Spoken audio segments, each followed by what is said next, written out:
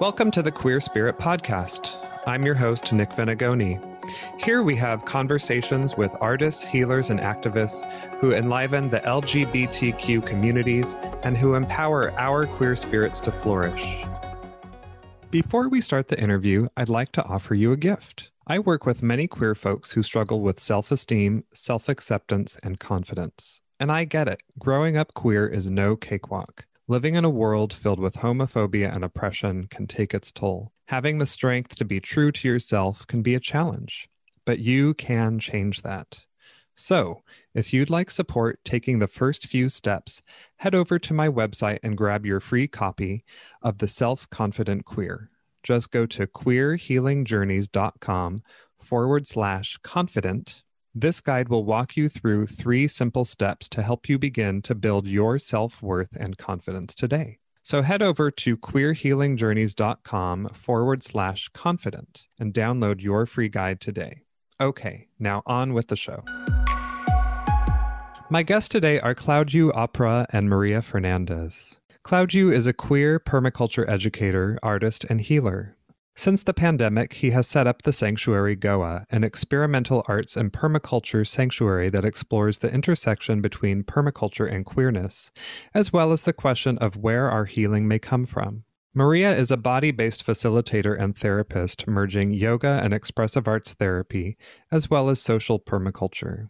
Today, we discuss how the principles of permaculture to live in harmony with the natural world help us create and foster queer community. Claudiu and Maria share their ideas about how nature is inherently queer. We also discuss their vision for the Sanqtuary Goa as a center of art and healing for queer folks in that region of India. For more information about this project, visit The Sanqtuary Goa on Instagram.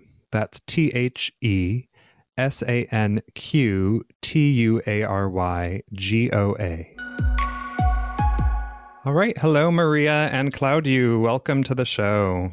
Hi, Nick. Hi. Thank you. So, since we have two people on the show today, I wonder if you could just take a moment and introduce yourself to our listeners so they can hear your voice. Sure. My name is Claudiu Oprea.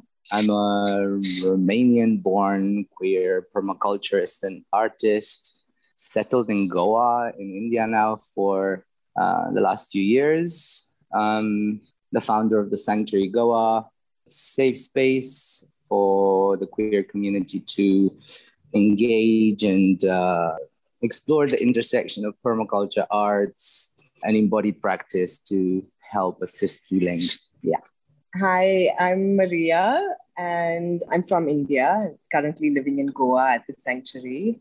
And I'm a body based therapist, which comes from my training as a yoga therapist, as well as as an expressive arts therapist, and my engagement with social permaculture. And so this all comes together as a way for us to connect better with our bodies, to have a more intimate uh, connection with our bodies, so that they can be a home for us that feels safe and pleasurable. Great. Thank you. So, can you tell us a little bit about what the sanctuary is and how it came to be?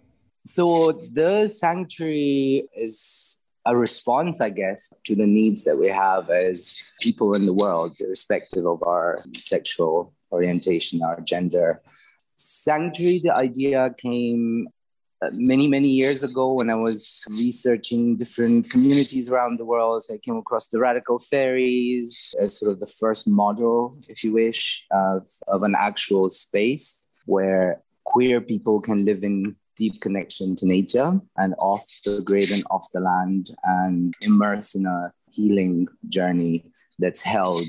And so that was the first kind of idea that sprung into my mind or you know seeded this desire to create something like that in Romania on my land because also the situation in Romania for queers is not so good. So whilst I was visiting back going from India to Romania I saw that the people my queer friends in Bucharest were also involved in organizing any queer events and queer pride were just burnt out exhausted unsafe and I wanted to open up my space for them to just have a sanctuary. So at least they can plan for these events in nature in a safe space, and there's good food around, and there's beautiful walks and river and all that, so that we can drift out of our heads. I just saw people burnt out by being so much in their heads and then I was uh, lucky enough to be part of a transient sanctuary in the UK that was uh, being organized at festivals by my dear friend Camille Barton. And yeah, that was a safe space for queer people of color with workshops, with events, with it was an experiment with deep learning. But for me, it was like, what are we actually needing as a community? What are the very basic and important things that we need to allow ourselves to be in our fullness, to exist in our fullness. And yeah, so the creation of a physical space, very, very important. Uh, and that's how it all came about. And then lockdown happened, Corona happened, and I chose to stay in Goa. And I was teaching permaculture at a school, at an international school. I was working with kids aged one to 12 and and yeah that sort of ended abruptly. And then i was like right i'm here and i'm needing my community. I would normally leave go to europe spend my time with my queers in fields around the country.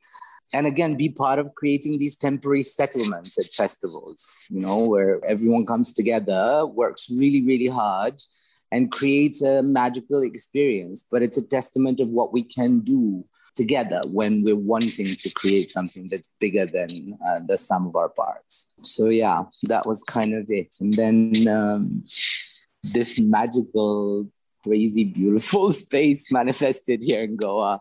We're in a 120 year old Portuguese home surrounded by ancient mango trees and jackfruit trees and coconuts. And we're also planting edible forest here and we're working with the land and yeah regenerating it because it needed a lot of love. So thing that we're focusing on or been focused on until now. And langurs and oh yeah and the wildlife and, yeah we've got cobras and all sorts.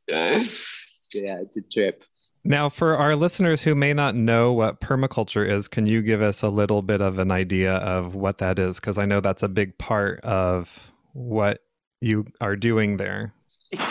yes, I part of permaculture ethics is fair share. So I feel like I've spoken uh, quite a bit until now. So I'm going to pass in the spirit of permaculture fair shares to Maria, but then I will come back and give my uh, understanding of. Yes, and for our listeners who can't see you guys, they are Maria and Claudiu are both cozy next to each other in a very warm climate right now. So they're both in the same space. Thank you. Yeah, thanks, Nick. So I think yeah, permaculture is quite a wide term that encompasses many things. And so I can speak a little bit about what it is for me because different people I speak to have a different relationship with permaculture or how it kind of relates to their life. Um, so for me, in my experience, permaculture, I would say, like as a definition, is a, a design, sort of a, an approach to designing living systems so as to create a system that is regenerative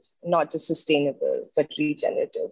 And it came out of the land. So it came it was short for permanent agriculture. And then also kind of came to be associated with i mean with people as well and people systems. Uh, and then so became short for permanent culture. And as Claudiu mentioned, uh, one of the ethics already uh, of fair shares, there's three main ethics of care for the earth, care for people, and fair share of future care. And it's for me, it's really also about understanding the patterns and within nature, understanding how nature functions. Us humans being a part of nature, so not that we are separate from it, but understanding these flows and then using specific tools and also based on the principles of permaculture. There's a, there's a whole list of principles. I guess what Maria, if I may, what Maria was referring to, the least amount of intervention. So by observing the system, uh, seeing how it behaves and doing the least amount of change with the least amount of you know effort to enable better flows and better relationships better communication better interaction better integration if I may share what I feel permaculture m- means to me. I've sort of sat with this both in my head, in my mind, and in my body, and in my hands, and you know, in any way that I could. What is permaculture actually? Because and there isn't a fixed point to it and there are as many definitions as there are practitioners but for me the simplified version that actually made sense to me was care care like care and love like how do i care for myself how do i care for others how do i care for my immediate environment how do i care for you know someone from nepal that i don't even know who they are how do i demonstrate that care how do i care for the future what do i do now that will potentially have positive ripples. And so I had to also simplify and go, what can I do? Because I'm not superhuman, even though I may have, you know, delusions of grandeur thinking that I am. But what can I be doing today to you know hint that that could happen in the future i'm going to be planting a tree today that does not guarantee that that tree is going to be staying alive for two three hundred years producing fruit but that tree has the inherent ability and drive and will to be alive for that long it will withstand whatever the environment has to throw at it and adapt and so for me, that's great deep learning. We're surrounded by ancient trees here at the sanctuary. They're over 100 years old. Imagine the stories, imagine the monsoons that they've gone through, that they've been carved by, that they've been, you know, shaped by. And here they are giving us shade. Without them, we would be dead. So, you know, it sort of unfolds like that for me. What are the actions that I can take right now, as just anyone can, to, you know, reflect that we are thinking of the future.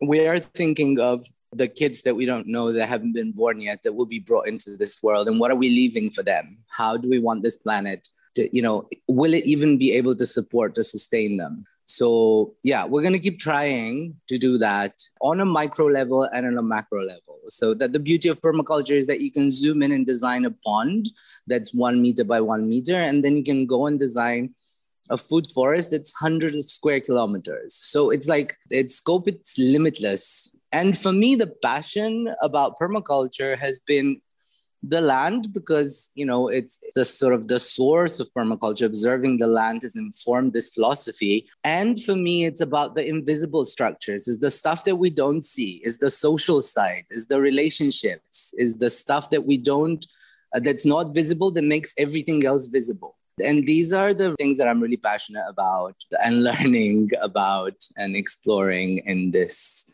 space that we've created in the way we live our lives. Well, I think that may tie into my next question, which is you know, you've talked about how at the sanctuary you're trying to weave together queerness and permaculture. So, how do you see that coming together? I mean, I hear that a little bit in your last statement about the invisible and the visible, but I'm curious to hear what else you have to share about that and how you do that at the sanctuary. Sure. Well, something Claudiu has said before, which I really like, is that nature is queer.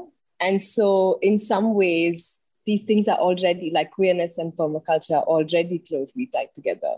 It's more a matter of us just opening up ourselves to it. You know, if we just open and connected to these things, to nature, to ourselves, to each other more, then we just be able to see how this diversity that also for me queerness is about. It's about the celebration of diversity which is evident in nature in the ways in which forests function the ways in which you know these climates and biodiverse climates are created with different trees and plants and microorganisms living together in with also very specific relationships in the way in which they give and take they care for each other they support each other so for me that's i'd say that's how it Absolutely. So nature is unfiltered. It's uh, responding to its stimuli.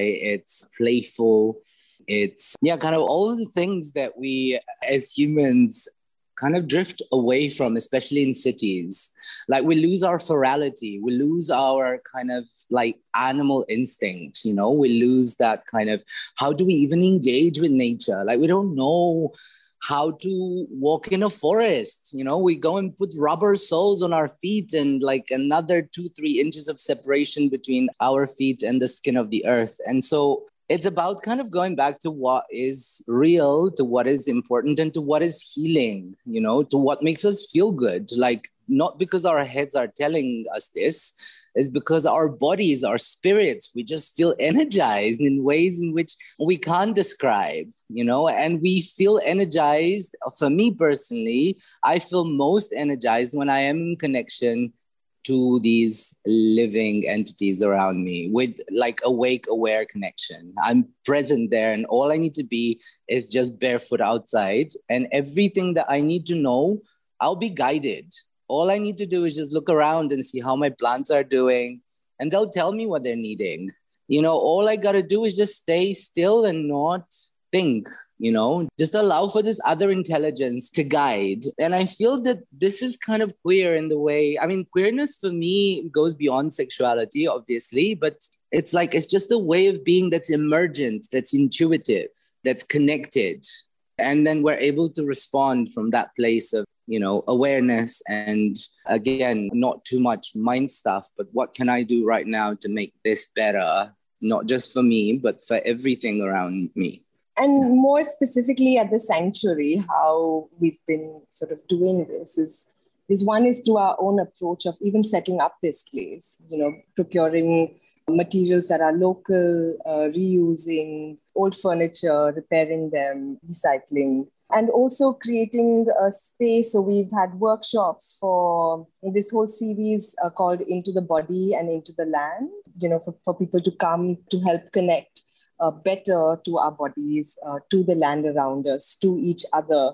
Uh, so, so just opening up this space for others since since that connection is primal that connection is so important that's been the early stages of our work is, is having this space for people to come and and engage in these ways of connecting to the materiality as well of our bodies and of nature around us. and to also witness what can be done in a household you know like recycling all our water which is in a place like goa there's three meters of rainfall every year and there's a drought for six months a year. So it doesn't make sense there's water shortages. So we're working on solutions around how to store more water more rainwater how to preserve the water how to reuse the water so these are systems that we build around working with living biology. So we're working with a lot of plants that are also our medicine, our food.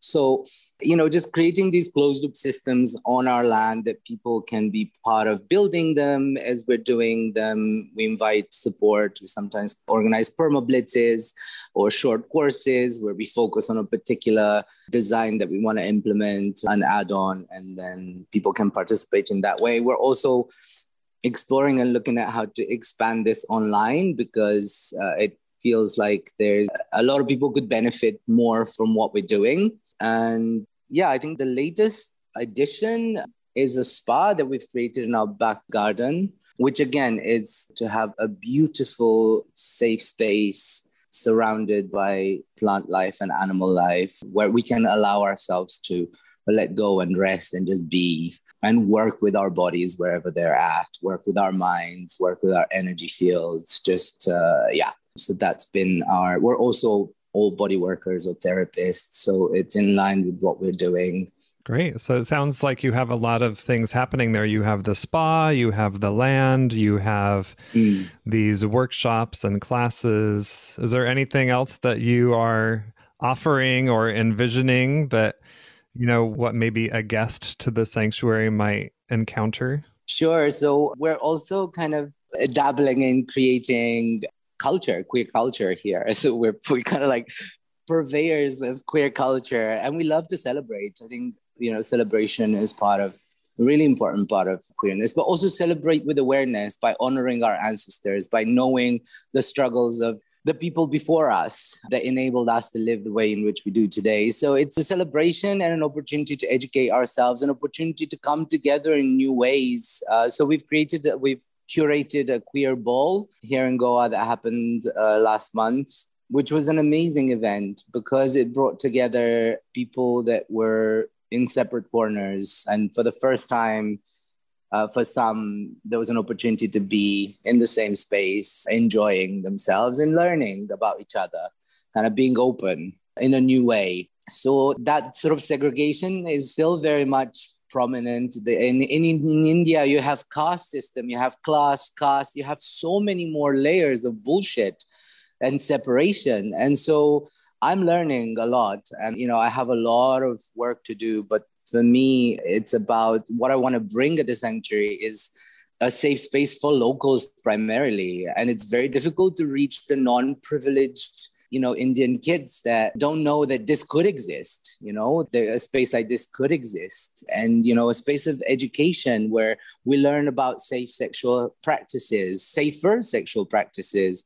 You know it's very difficult to even get tested here. So there isn't a place that offers all the tests in one go. And it's so expensive that no one can afford to do it. So even my local friends are not able or have never been tested for any STIs in their late 20s, very active sexually. And it's to me, that's a little bit scary. You know, that's a little bit uh, scary in the sense that what's going to happen in the next five years if this is the behavior now and the severe lack of support, and what will that translate into in terms of, yeah, our health as a community? So this is what i'm passionate about and this is what i'm gonna be focusing on and i need support with and it's a long process. Also i don't want to start something as a fad. I want to start something and make sure that it's sustained to make sure that it serves people and it starts slow and it builds up like any grassroots movement to build that trust in a community. You know it takes time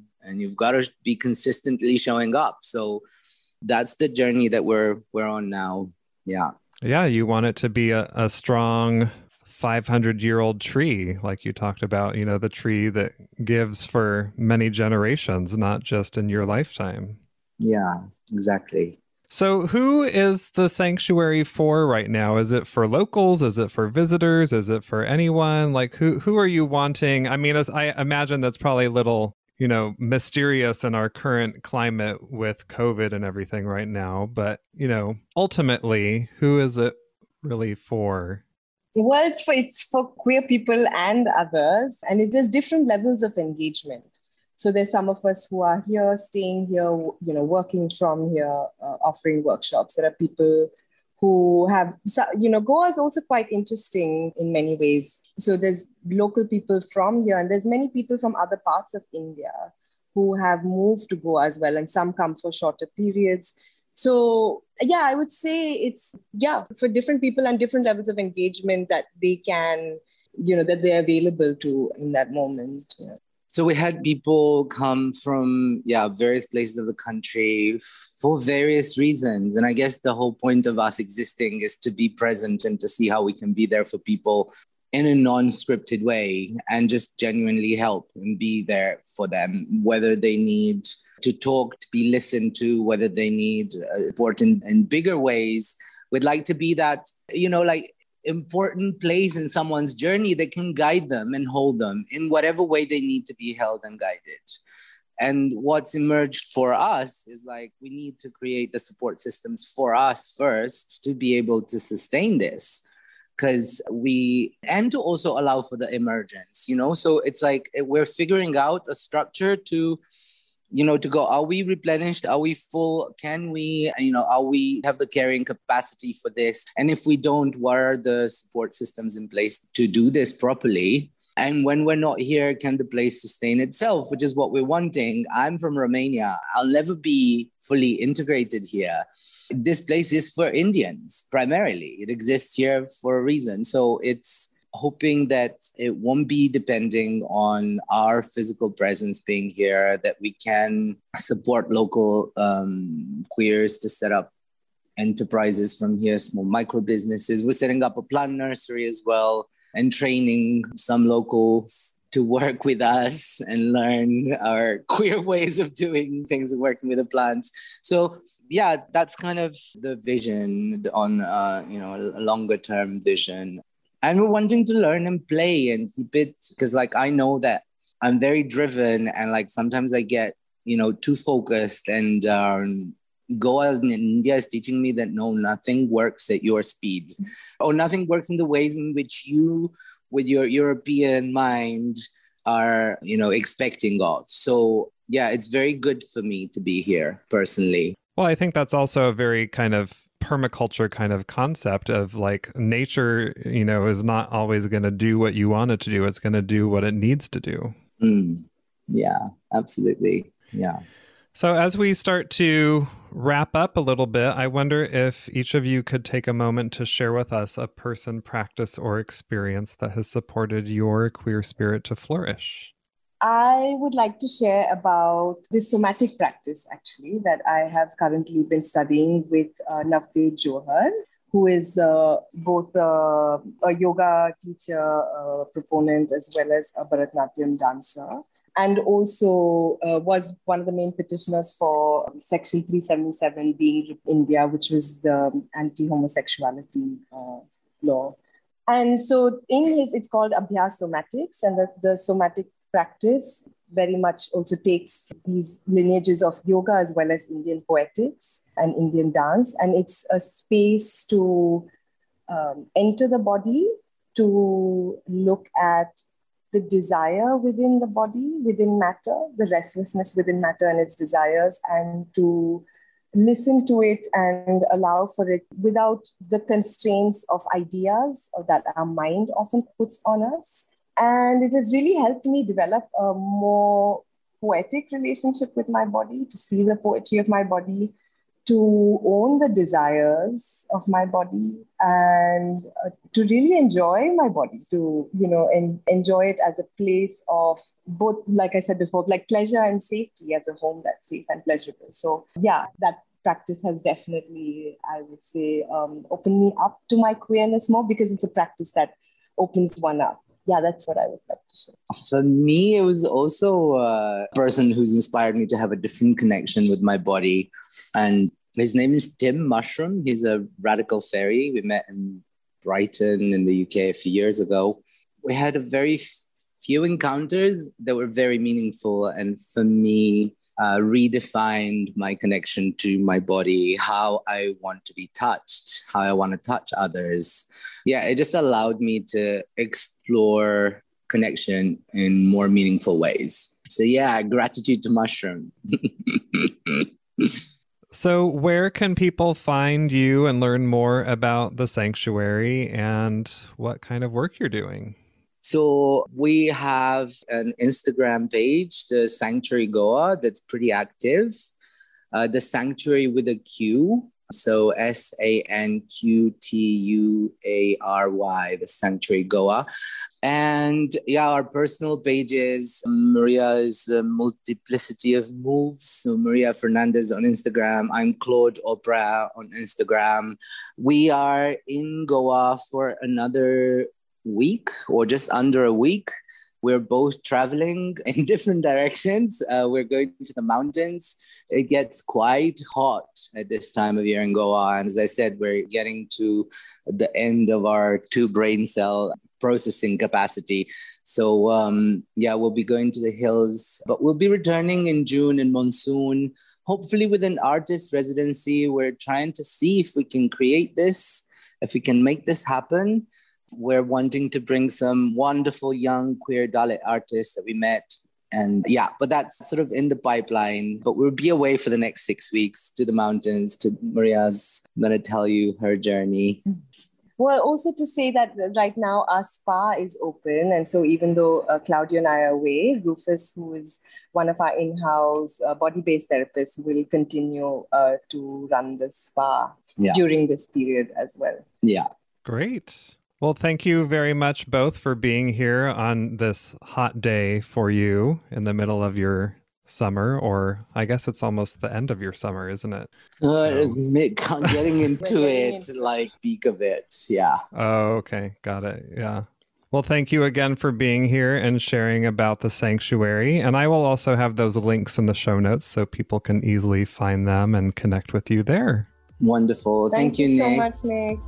To find the resources we discussed today, find the show notes at thequeerspirit.com. And if you enjoyed the show, remember to subscribe, rate, and review on iTunes. This will help us reach and support more queer people all over. Thanks for listening and see you next time.